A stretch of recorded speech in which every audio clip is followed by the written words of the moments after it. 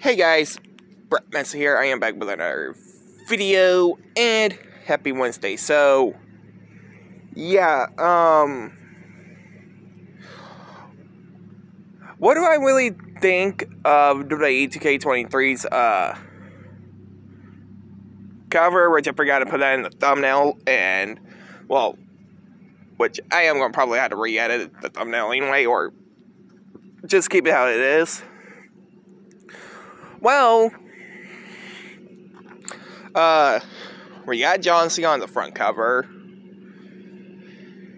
DLC leak that happened last week on Twitter saying that Carlito, Johnny Knoxville, uh, Victoria, you know, the chick who had Nicki Minaj as her theme song, Bray Wyatt the Fiend, Uncle Howdy, Howie or Howdy, how you pronounce his name.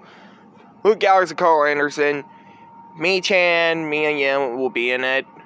And Carlito.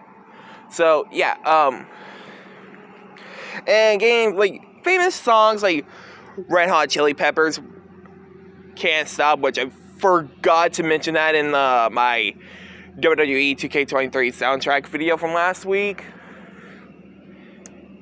Which the other two that y'all already probably know was like Doja Cat's uh, Vegas song from the Elvis movie, and Take It When You Want From Me by Post Malone, Ozzy Osbourne, and well, Travis Scott.